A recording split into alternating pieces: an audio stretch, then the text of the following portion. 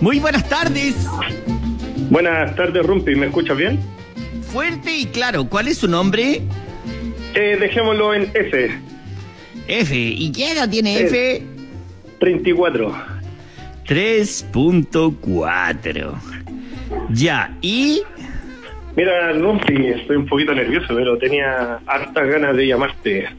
Por Ya. un tema que pasé por atrás de mi vida anterior y que me está trayendo bastantes problemas en mi vida actual. Ah, él. Ya, mira, eh, eh, mira. Eh, bueno, estoy un poquito nervioso. Mira, lo que pasa es que tiempo atrás, llamémoslo cuando yo tenía 19 años, conocí a una mujer un poquito mayor que yo, un par de años más, y empezamos a formar una relación. Ya, pero ¿cuál, pero qué? ¿Tú tenías 19 y la loca 22, 23, una cosa así? Sí, como 25. En Ya. Ya un poquito mayor que yo, una vida bastante resuelta, eh, lo tenía todo, casa, auto y todo el asunto. O sea, básicamente yo ahí, recién saliendo del, del liceo, eh, con entrando a la universidad, sin trabajo, sin ni una cosa. ¿Y cómo caíste ahí? ¿A dónde la conociste? Eh, por el Facebook. ¡El Cuando- Facebook! Exactamente, una El antiguo aparato del mal. Exactamente, nos conocemos por un foro de estos grupos de cuando uno postea fotos, se cagan de la risa la gente, por meme, llamémoslo así. Ya. Ya, entonces, de esta empezamos a salir, el asunto, me gustó inmediatamente, eh, según ella yo le gusté inmediatamente, y llamémoslo, en la primera salida pasó todo lo que tenía que pasar. Así que la cosa de los cuerpos, los grados, la incursión, digamos. Exactamente. Ah. Y la experiencia de ella fue espectacular. Por- desde que desde que el primer momento que estuvimos juntos hasta el grado 4. Ah. Y me dejó loco, porque mi experiencia, llamémoslo sexual, no era muy muy amplia. ¿Usted no había incursionado en grado 4? ¿No había tenido esa vivencia? Nunca había tenido ese placer. Y con la dama ahí, la dama te enseñaron, te enseñaron ahí. Claro. Sí. Mira, te va a sonar hasta chistoso, pero cuando me llevó, bueno, al principio no fue como ir al departamento de ella ni nada de eso, sino que fue, eh, llamémoslo salida a motel, que yo los pagaba, la mina lleva sus juguetes, su lencería y todo el asunto. Pasó el tiempo y nosotros empezamos a tener ya como una relación formal. Ya. Entonces yo estaba estudiando, trabajaba el fin de semana, nos veíamos de tarde mal y nunca, pero siempre con un contacto, llamémoslo, por teléfono, viéndonos de vez en cuando. Y ahora, después de un tiempo, seis meses, ya iba a su departamento y todo el asunto. Ya estáis de bololo, ya está, ya teníais Sí. la escolla de dientes en la casa. Exactamente, ¿no? Yo ya estaba yendo, todo viola. Lo, lo que más me gustaba de ella era que no tenía límites en nada, compadre. ¿En qué sentido límite así como en nada? Bueno, podríamos perfectamente, de repente, en ese momento, veíamos una porno y hacíamos todo lo que hacen en el auto. A ese estilo. Ah, A ese estilo. ya. Así que no me, no me ponía límite. Y yo, cabro chico, puta, estaba en, en el celo. En el celo. Eh, la cuestión Oye, pero espérate, que- lo que tú me estás diciendo es que si tú eras un brocacoche y la loca tenía 25, pero también era una mina para los 25 que me estáis describiendo bastante como... Experimentada. Experimentada, agrandada, como que había Todo. vivido la dama, po. Exactamente. Ah, y te, y te agarraron, te- ella era como, ella como que en algún minuto se las daba y te decía, yo te voy a enseñarte cabrito, así. Claro, sí, ¿no? Si yo era ahí, venga a tomar pechito. ah.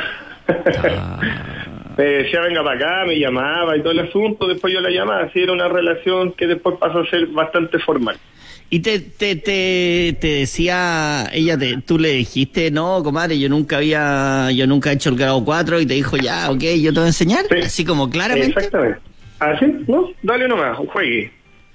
Ah, Y por lo todo, y en el departamento no sé si tú ubicáis las 50 sombras de Grey, que el, el loco tenía escondido así como una wea llena de juguetes y cuestiones así. ¿Ya? La mina en su casa tenía un mueble lleno de, len- de lencería, juguete y todo el asunto. Lo que se te podría ocurrir. Hasta me- de repente me, me daban sus latigazos. Me amarraban y se daban sus latigazos. Te, te, te amarraba y te pegaba tu latigazo. Ah, exactamente, pero de esto no con dolor, o sea, era todo erótico, Todo rico. todo rico, exactamente. Claro. Mira, era todo bien. No, yo también seguía mi vida. Nosotros no formalmente no vivíamos juntos.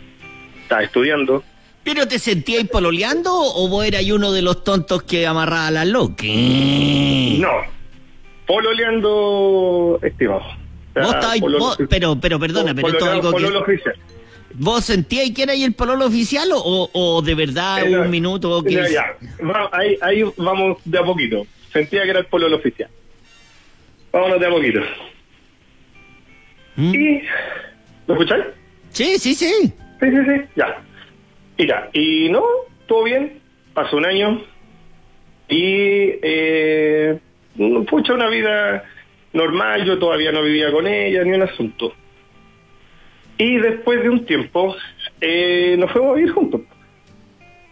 La vida todo normal, a mí me llamaba la atención, me salía en la mañana. ¿Que, salía que vivía, viví- vivía cerca de la quinta normal? No, no, no, mi vida toda normal. No, es que normal, normal, es lo único normal en la quinta normal. Todo lo demás es distinto, oiga. No, Todo lo demás es particular, distinto, diverso. Ahora, el weón tiene una vida normal. ¡Oye! ¡Oye! Este weón tiene una vida normal, anótalo. ¡Oye! No, pero cáchalo. No, pero- No, si yo tenía una vida normal. Llamémosle una vida normal entre No, no, no, si no que se trabajaba, se estudiaba y se tenía una vida de pareja. Una cosa si aquí, aquí normal, la pura quinta normal, papi. Todo lo demás es distinto. No vengáis con Ya. ¿Ya? Mira, para resumírtelo un poco. Eh, se iba a trabajar, me decía dónde trabajaba. Yo, cabro chico, nunca so- eh, sospeché absolutamente nada. Yo iba, me iba a estudiar, trabajaba a medio tiempo en otro lado. Y empezó a progresar la vida. Eh, nació mi primer hijo, tuvimos un hijo. Ah, ya, Así que- familia. No, sí. No, sí, por eso te decía, bastante normal, todo normal. Nació Oh, mi primer hijo. no, me, no me digáis normal de nuevo, ando a cortar. No me digáis normal de nuevo. No me digáis normal. No me digáis normal de nuevo. Bueno, nace mi primer hijo y tomamos la decisión de casarnos. ¿Cuántos años? casé- Pero espérate, tú ya conocías al taita, la mamá, los hermanos, todos, la prima, todos la- que conocía Ah, toda la vida. Familia, ya. Sí, no, sí, presentado oficialmente en todos lados. Y con Ah. 21, 22 años me casé con ella. Ya. La vida transcurre todo bien, avanzaba.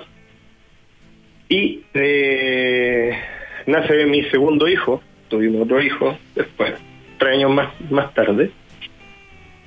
Y con ese hijo empezaron los problemas. Ese fue el tema. Ya, ¿por, qué? Porque con ese hijo, bueno, la ella siempre fue muy preocupada de su de su cuerpo, muy fitness, muy llamémoslo gimnasio, comida, muy preocupada de su cuerpo. O sea, yo te puedo decir que tenía un cuerpo espectacular, que fue lo que más me, me gustó a mí. Y con el nacimiento de mi segundo hijo, a ella se le echó a perder un poco el cuerpo. Y empezamos con los problemas. Pero se le echó a perder un poco el cuerpo así con el parto, que como que... Claro, o sea, empe- le salieron, eh, empezó a llenarse de estrías, se puso más gorda, como que le cambió el metabolismo. Claro, claro. Y la- eh, como al verse empezó a tener problemas de depresión y al final a mi segundo hijo no lo quisieron, lo rechazó. Ella. Sí, no lo quiso, me fui, fue de un, todo un problema porque mi hijo nació muy prematuro, y me tuve que ir de la casa porque no lo quería, no le quería dar leche, no quería tomarlo, no quería alimentarlo, mudarlo ni nada, ni nada, no ella, para él no existía, ella seguía su vida normal, eh, no quería absolutamente nada. No, pero esto esto es como una cosa que, que es como psiquiátrica, digamos, es un es un problema de la mente, digamos, que tiene como ciertos tratamientos y terapias. Pero ¿Cómo se llama? Perdona, pero ¿cómo se llama eso de, del rechazo? Le llaman depresión postparto en general. Ah, ya, dentro de las depresiones por está la negación de la, del crío, digamos. Exactamente, pero ahora voy a por qué lo negaba, por qué no lo quería. Bueno, problemas, oye, ya, pues, ¿qué vamos a hacer con el niño? Por le yo tuve que eh, parar un poco de estudiar, porque todavía estaba estudiando, me quedaba un poquito, y trabajar para poder criarlo. Y ella hacía su vida normal y todo el asunto. Y al final eh, me terminé yendo, nosotros vivíamos en un departamento y me terminé yendo a la casa porque era imposible yo estar haciendo todo. Y me fui a la casa de mis viejos eh, para que me ayudaran, pues mi mamá estaba en la casa, me podía ayudar con el niño y todo el asunto. Ah, te, espérate, agarraste a número dos y te lo llevaste al cabro chico. Ah, pero ella no lo quiso, no lo quiso nunca más o no lo quiso No, nunca más. Hasta el día de hoy las visitas, ya mi hijo va a cumplir 11 años y las visitas son cinco veces en el año, con suerte, y sí que se acuerda que existe. No te puedo creer, güey. Exactamente, yo soy uno de esos papás modernos que le pagan pensión actualmente. ¿Ella te paga pensión a ti? Exactamente. ¿Y tú tení, y el, perdón, y el, el primer hijo o hija? Eh, también está conmigo ahora, actualmente también estoy. Estoy yo a cargo de los dos, vivimos solamente los tres. Ah, ella se desligó primero del segundo y después se desligó también del, del primero. Exacto, pero claro, pero del primero se desligó por una cuestión que te voy a contar ahora. La cuestión fue que, avanzando un poco el tema, nosotros no tratamos de, de tratar de arreglar esta situación y todo el asunto, pero con el tiempo eh, ella empezó como a tomar más distancia. Yo nunca sospeché absolutamente de ni una cosa, y después me voy enterando, porque yo también, como vivíamos en departamento y todo el asunto, me hice muy amigo del consejo.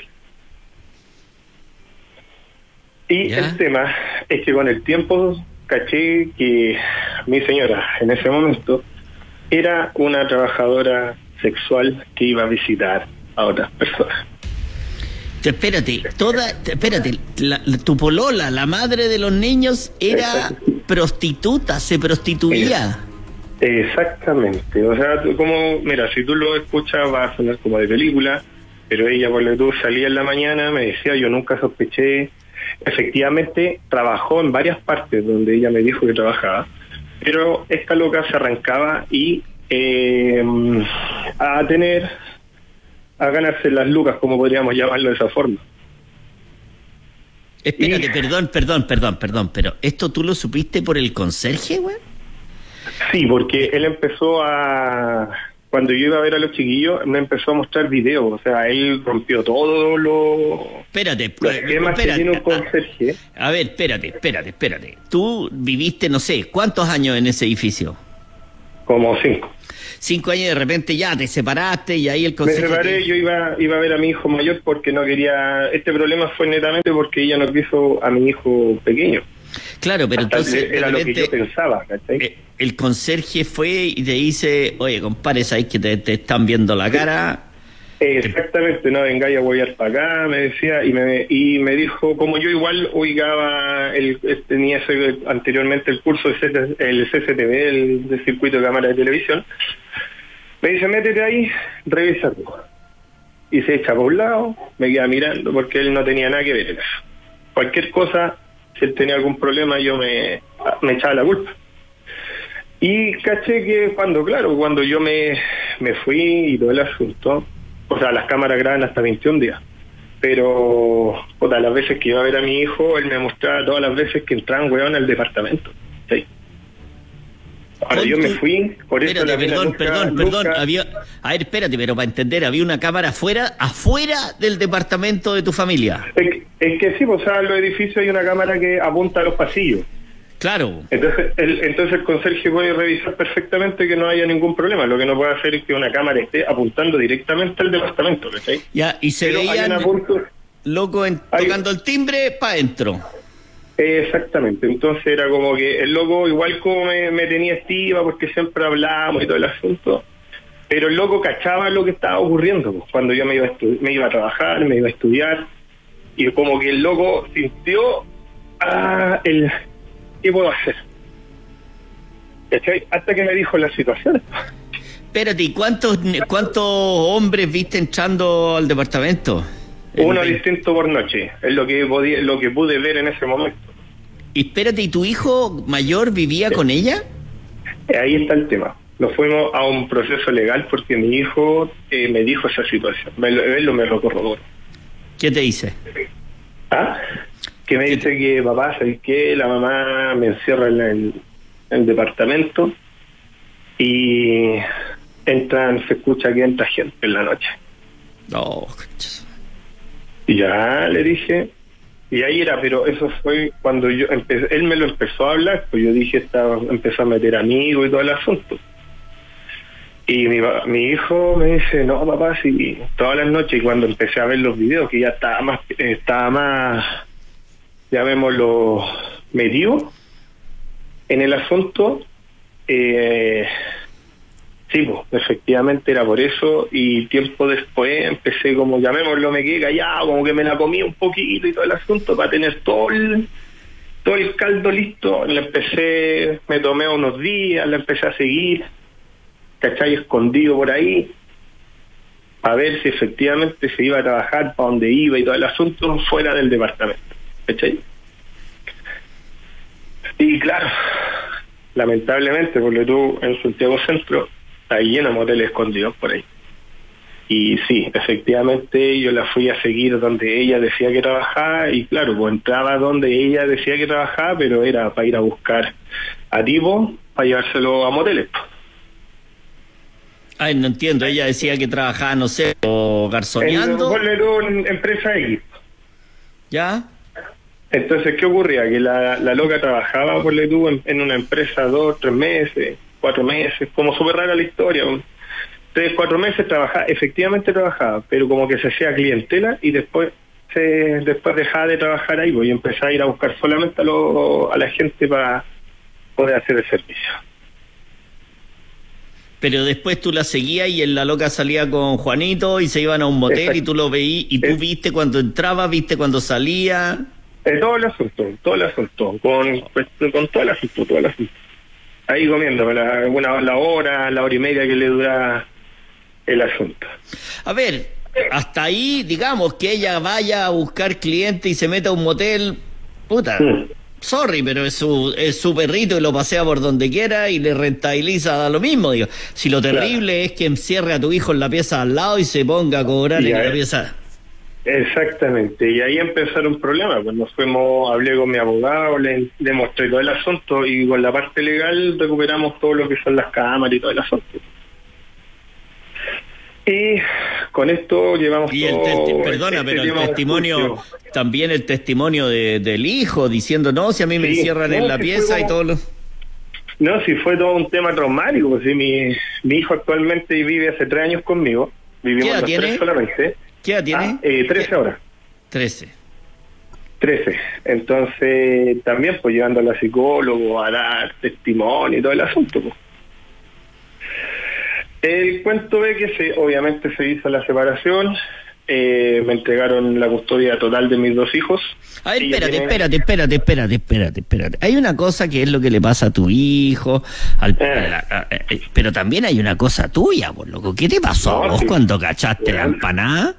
No, pues destruido por ti, mal, pues incluso fíjate, yo ponle tú hasta ese momento enamorado, lo que yo te la estaba cortando bonita al principio, la mina me hacía de todo, nos casamos legalmente, tuvimos hijos, o sea, es todo que se te derrumbe tu castillo, por lo que tú estás construyendo, independiente de la edad que teníamos, pues, ¿cachai? Espérate, espérate, pero, pero la, la pregunta es, ella después de que le pasó esta cosa de la depresión postparto, ¿se empezó a prostituir? ¿O, o- o no, o- la no, lo que ella siempre lo hizo, por eso se preocupaba Ah. tanto de su cuerpo.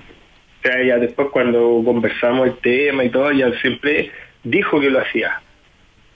¿Y tú dónde? Ah, tú la conociste por el Facebook. Claro.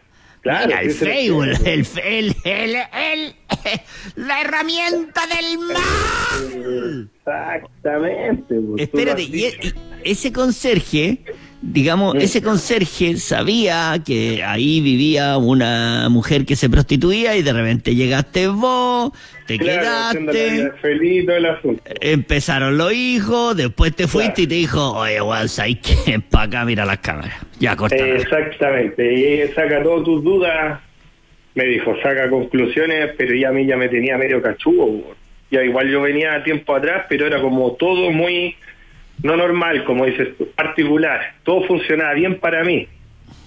¿Cachai? Mm. Pero una amiga, no sé, porque yo estaba regalón, pues imagínate, yo no estaba estudiando, ella tenía un título de técnico y puta, vivíamos súper bien, pues me llevaba a comer a todos lados, había plata de sobra, entonces era como muy raro, pues. Y yo, súper, pues. Y te casaste, weón, y te casaste, weón. Sí, pues ese fue el tema, pues. Y yo lo... Espera, pero llega un minuto ya en que la pillaste, que iba a buscar a, la, a, la, a la empresa, que la clientela, que el motel, que la cámara, que la guay, el juicio, y, y, te enfrentaste a tu pareja, le dijiste, puta, comadre, vos te estáis... Exactamente, vos era una, era una prostituta, pero ¿por qué decírmelo de esa forma o no decirlo? O si te casaste conmigo... ¿Qué te dijo ella? Cuando tú le decís, ¿sabéis que descubrí que eres puta, digamos? ¿Qué, qué te dijo? Exactamente. No, siguió callada, mantuvo todo el rato la cabeza gacha, eh, sumamente mal, y no, no quiso decir nada, absolutamente nada, en ese momento. Y ahora, cuando ya ha pasado el tiempo, eh, me pide disculpas porque era ella, según ella, se había enamorado de mí, pero también tenía un sistema de vida que no podía dejar, que ella también lo pasaba muy bien haciendo eso. Entonces, esa doble vida a mí me descompensó totalmente. O sea, créeme que con ahora la edad que tengo, chucha, la, la forma de creer en el, en el amor a mí ya no va. No, pues háblame de amor, dime algo bonito. dime, algo bonito, mi amor. Exactamente. Y mira, suena como de película, pero hasta a mí me sorprende. Siempre he querido llamarte para contar. Espérate, espérate, espérate, aguántate. Ella, te, ella nunca te miró y te dijo, cuando te dice, no, puta, es que yo tenía una vida que no iba a dejar, a mí me gusta, estaba ahí, tenía una familia. No, nunca. Ya, raro. Espérate. Y eso fue y eso fue dos años después de que ya formalmente nos separamos. Espérate, pero si, a ver, una pregunta. Si ella pudo vivir prostituyéndose, no sé, cuatro o cinco años contigo, de pareja y todo, eh, no tenéis ninguna infección, no tenéis ni nada, tenéis plata y todo, ¿no la pensaste en decir, bueno, esto es ella, ella es así, sigamos? No, no, porque en realidad pasó todo con respecto, primero fue la impresión eso, segundo después pasó el lado de papá, ¿cachai? O sea, por lo tuyo conversé con ella y yo le decía, pero por último, ¿sabes condón? Pues te protegía y alguna cuestión. Me decía que sí, siempre sí, entonces por eso yo después de eso me hice todos los test posibles, no, nada, sanito, sin ningún problema y nunca tuve algún problema visible en mi órgano. Pues. Y más que nada esto pasó por un tema de que empezó, como te decía, cuando rechazó a mi hijo y después mi, otro hijo empezó a decirme que iba personas a la casa. Para, mí saltó en la parte de papá más que después como lo de pareja. Qué fuerte, loco. Ya, bueno, espérate, dos, dos años después te dice, puta, sí, weón, me gusta la plata, me gusta la pega, ¿qué querés que te diga? Eh, Chao. Exactamente. ¿Y ahora? ¿Y, ahora cuánto tiempo ha pasado desde que te reconoce eso? Puta, seis años ya. Con, ¡Ah! con seis años ya. O sea, esto fue cuando yo me fui, cuando tenía 26 años, cumplió yo. Y a los 28 me sale el divorcio, por causa porque nos fuimos con todo con mi abogado. Quitando custodia, quitando todo, todo el asunto. A ver, ¿y por qué, perdón, perdón, por qué eh, es motivo de de perder la, eh, la, la, la, tutela de los hijos ser prostituta? No, lo que pasa es que era, el, bueno, primero mi hijo chico, cuando nació, ella no lo quiso formalmente y mi hijo siempre estuvo a cargo. Ya ahí empezaron los problemas. Yo ya me había ido a la casa y por mediación ella me da la custodia de mi hijo pequeño. Él siempre ha estado conmigo. El, por mediación familiar. Mm. Y con respecto a, lo, a mi hijo mayor, con lo que me contaba, era como demasiado que un niño lo encerraran en una pieza y escuchaba cómo gritaba la otra. Pues. Oh.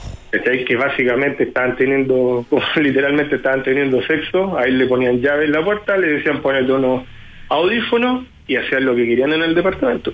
Entonces, básicamente. espérate, lo, encerraba con llave en la pieza y hacía. Y le decía ponerte los audífonos, escucha música pero mi hijo me de repente me no sé pues me llamaba en la noche y me decía papá mira escucha esta cuestión decía y ahí y tengo todo eso grabado ¿cachai? y qué y escucha esta cuestión y qué, qué, había fiesta o cacha no se escuchaba derechamente que estaban teniendo sexo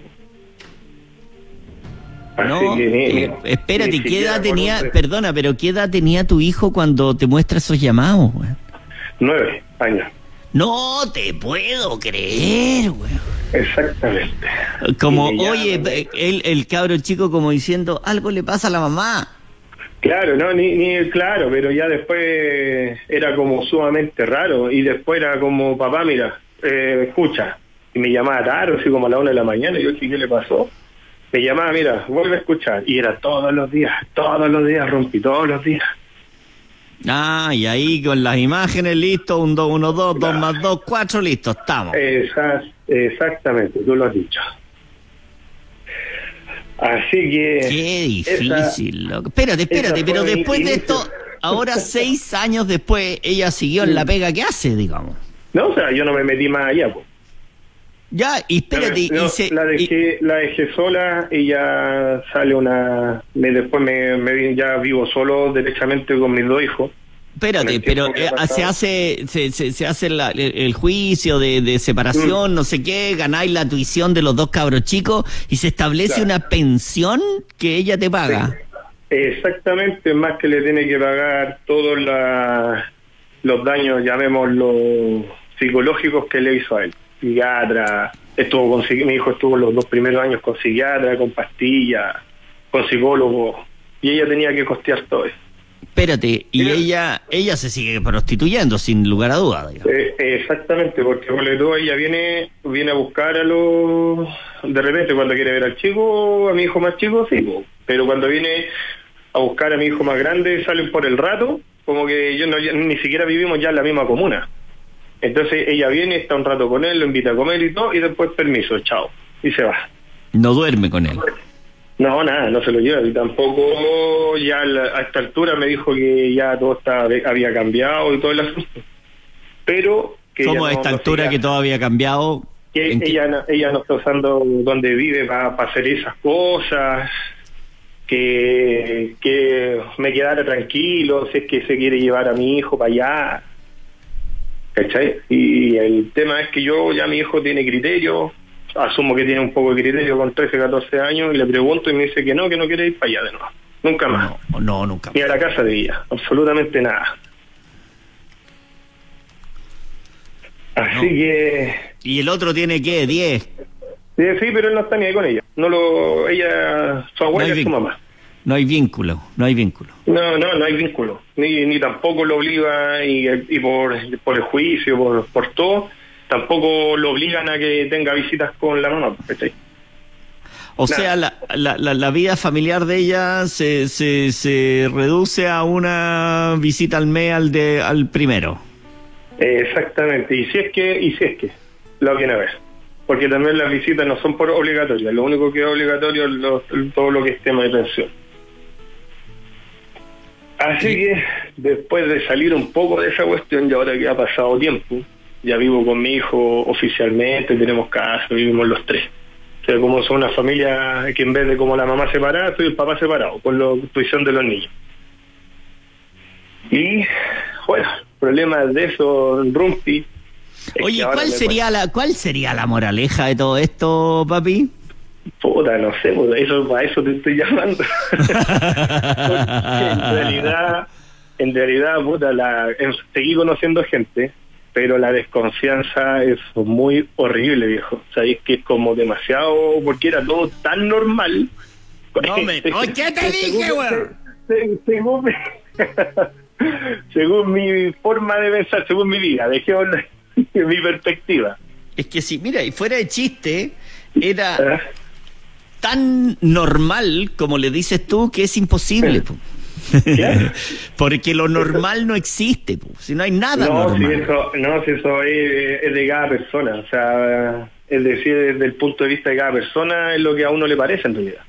Claro, si tú creís que una persona sale, tiene su departamento, su auto y trabaja de técnico, no, no es así, pues bueno. Sí, sí, sí, o, sea, o sea, llamémoslo con el tiempo conocí, o sea, igual conocí más gente más, más adulta, o sea, si yo tengo 34, yo conocí gente con 40 que tiene todo eso, más y Sí, pero no a los 20, pues, weón. Pero por eso, pues. claro.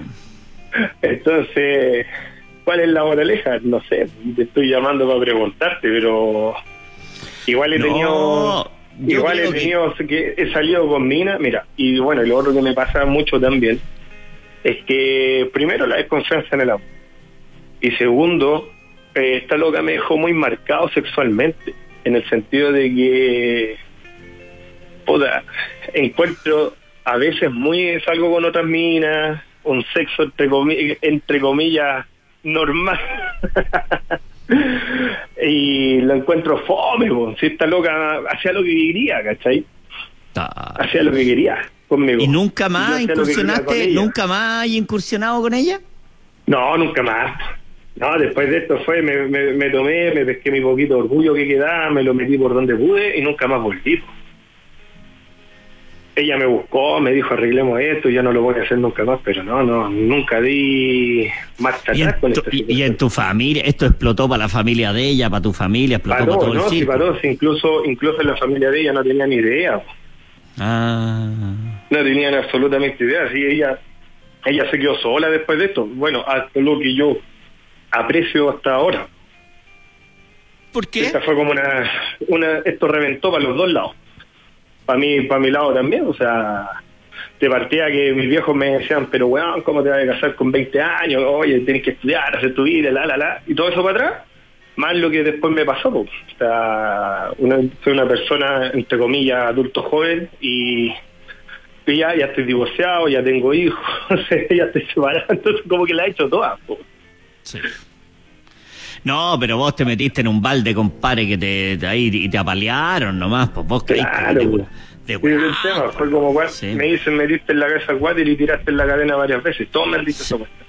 Exactamente, y vos, y vos, y el mojón no se iba, y vos te enmierdabas y te... Claro. Claro, entonces hasta el día de hoy me ha costado recuperar, ya como material y económicamente ya, ya no, pues ya estoy estable. Pero psicológicamente y sexualmente estoy, estoy, tengo tormento, estoy así como cagado en el sentido de... No, es que de esa no vaya a salir nunca. No, entonces, por tú conozco una mina, ah, vamos, ¿todo bien? Ya, y empieza mi desconfianza. Empiezo por lo tú me hago el tonto, reviso celulares, reviso redes sociales eh, me pongo así, en esa desconfianza. No, cualquier fantasma. Bueno, vos, papi, así es la vida, esa es la que te tocó y nada, que te vamos a ponerte un tema nomás. Esto es Vendedora de Caricias.